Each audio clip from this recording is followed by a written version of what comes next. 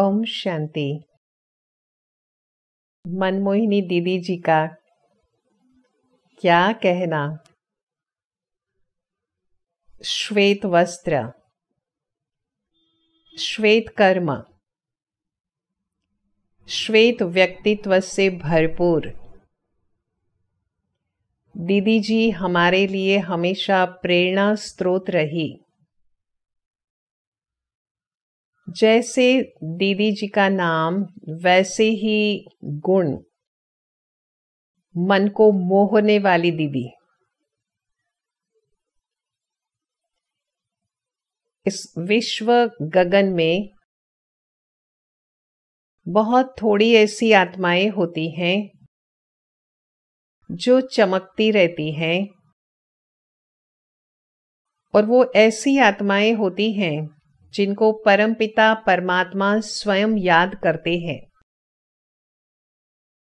ऐसी सर्वोत्तम आत्माओं में से दीदी थी। 1963 आज से 59 वर्ष पहले मैं ज्ञान में आई। उस समय मधुबन में गए तो दीदी मिले। दीदी की दृष्टि इतनी शक्तिशाली थी। तो मुझे महसूस हुआ कि नज़र से मैं तो निहाल हो गई। मुरली क्लास में देखते थे, बाबा मुरली सुनाते थे तो दीदी सबसे फ़र्स्ट बैठते थे। दीदी तो इतने पक्के गॉडली स्टूडेंट कि क्लास में चश्मा, डायरी और पेन लेकर के दीदी बैठते थे। और देखा कि दीदी क्लास के बाद में राउंड लगाते थे। यज्ञ के हर एक डिपार्टमेंट में राउंड लगाते थे, भंडारे में राउंड लगाते थे। और फिर आकर के दीदी सभी के साथ सब्ज़ी काटते थे। माना कर्मणा सेवा में भी। दीदी अपना समय देती थी। दीदी के साथ मुझे कश्मीर जाना हुआ। वहाँ दीदी का इतना एक्यूरेट सारे दिन की दिनचर्या देखी। अमृत वेले का योग मुरली क्लास और सारी दिनचर्या।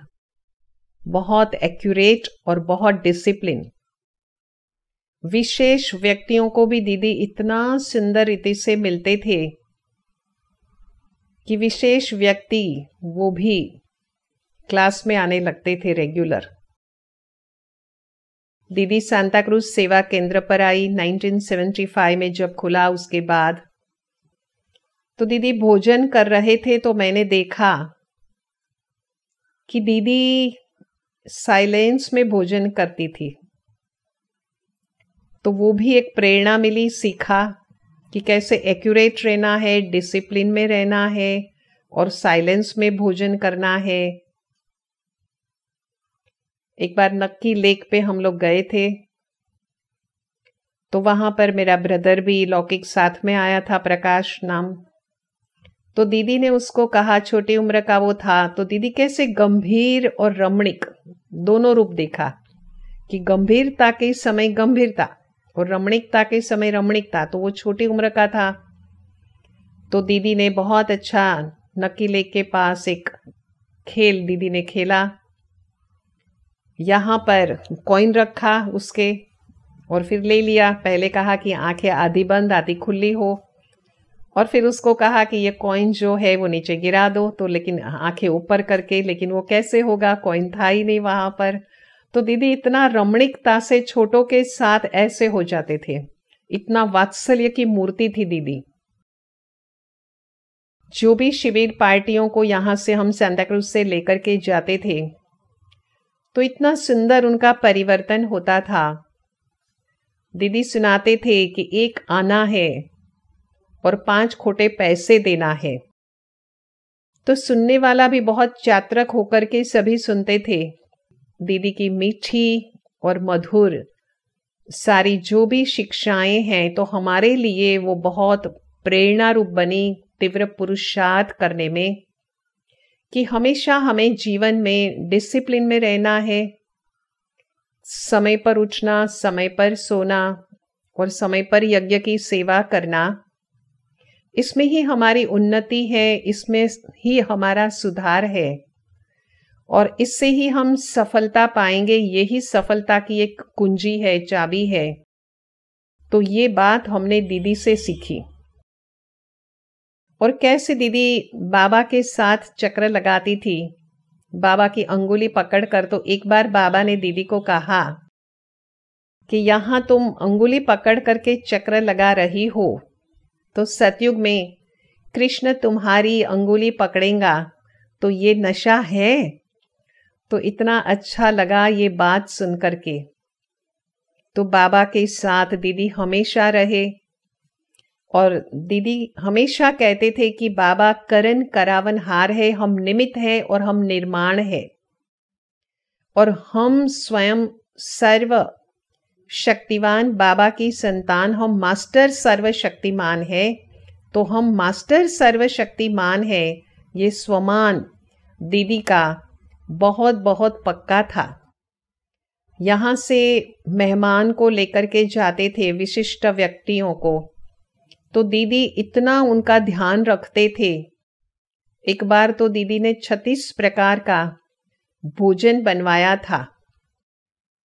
तो दीदी जो है, वो सौगात देने में भी बहुत ही सुंदर रीति से और बहुत अच्छी दीदी में ये कला थी कि जैसी व्यक्ति उसको उस अनुसार बहुत सुंदर रीति से दीदी डायरी, पेन और डायरी, पेन ज्ञान की ओपन करके दीदी देते थे और उनको कहते थे कि ये स्लोगन पढ़ो। तो इतना अच्छा लगता था कि इतना प्यार से दीदी जी सौगात देते थे। और जो भी आते थे, उसका इतना अच्छी तरह से दीदी परवरिश करते थे ज्ञान और योग से, और उनका ध्यान भी बहुत रखते थे। जब हम पार्टी लेकर के जाते थे तो दीदी बैठ करके क्वेश्चन पूछती थी। मुरली में से क्वेश्चन निकाल करके वो पूछते थे, और हंसाते भी थे। तो उसमें ज्ञान युक्त सब कुछ था। तो दीदी का जीवन देख करके बहुत ऐसा लगा कि ये जीवन तो बहुत बहुत उच्च जीवन है दीदी का। और हम बहुत ही बातें, शिक्षाएँ उस समय सारी सीखते थे। रॉयल्टी तो दीदी में बहुत बहुत थी। वो तो पहले ही हमने बहुत ही महसूस किया कि कैसे दीदी अंदर और बाहर, कैसे दीदी की सच्चाई और सफ़ाई है। और दीदी की कहनी और दीदी की जो सोचना है तो करनी और कथनी, वो दोनों दीदी का बहुत समान रहता था। और हमेशा दीदी कहते थे कि स्वयं में बदलाव लाना है, हम औरों के बदलाव का न सोचे, और इसमें ही हमारी स्वयं की जो है, वो भलाई है। संग के लिए भी दीदी हमेशा ध्यान खिंचवाती थी कि हमारा संग जो है, उसका हमेशा हमें बहुत ध्यान देना है कि संग हमारा कैसा है। माना ज्ञान की हर बात में श्रीमत पर हमें कैसे मर्यादा और नियम पे हमें हमेशा कैसे चलना है और कैसे हमें बहुत एक्यूरेट चलना है तो जीवन में यह वैल्यू जो है एक्यूरेसी की, वो तो दीदी के रग रग में थी।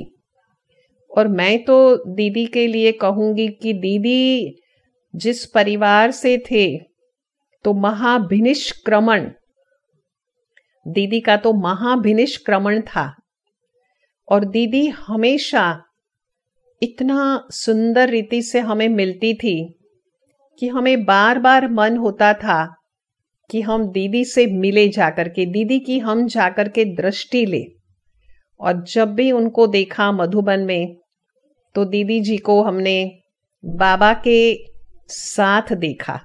तो बहुत हमेशा अच्छा लगता था, क्योंकि 63 से लेकर के 83 तक, एक बार यहाँ पर आए, बॉम्बे में, लास्ट में 1983 की बात है। तो उस समय मैं, जब दीदी हॉस्पिटल में तबीयत ठीक नहीं थी तो दिखाने के लिए जा रहे थे तो मैं विशेष दादर स्टेशन पे गई और वहाँ पर दीदी खड़े रहे गेट के पास आकर के। तो उस समय ट्रेन वन मिनट, वैसे तो स्टॉपेज था, लेकिन ज़्यादा खड़ी रही। तो मैंने फिर दीदी को कहा, ज्ञान की बातें सुनाती रही। तो मैंने कहा, दीदी, आप बैठ जाइए, क्योंकि दीदी दरवाजे पे आकर के खड़ी थी।